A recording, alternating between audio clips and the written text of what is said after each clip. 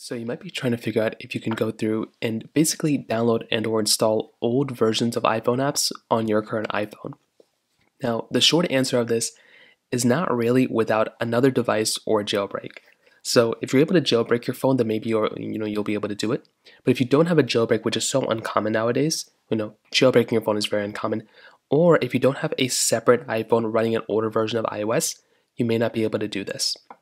Now, there used to be ways where you can install, like with a jailbreak, you can go inside of the App Store, find the app, download a tweak, and then hold down on the update button, and then you know use an older version and download an older version that way.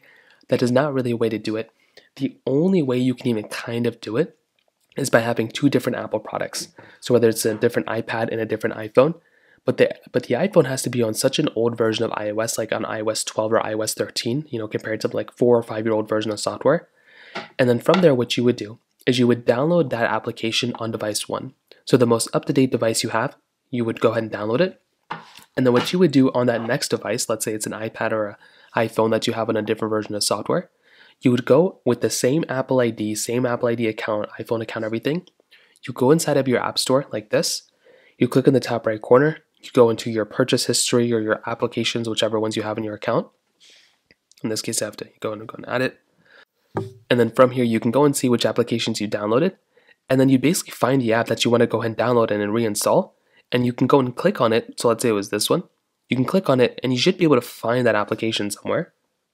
Actually, don't do purchase history, just do apps. It's so much easier. You can go into My Apps and you can find the little download button next to it.